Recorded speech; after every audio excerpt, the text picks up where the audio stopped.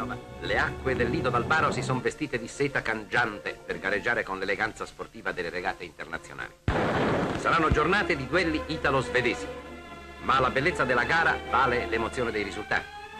I bordi degli 8 metri si piegano sull'onda, mentre le vele raccolgono nel loro grembo gli arpeggi lunghi dei venti. Scattano nelle rigate le star come divincolandosi al soffio che le spingeva per ritrovarlo altrettanto favorevole in direzione opposta.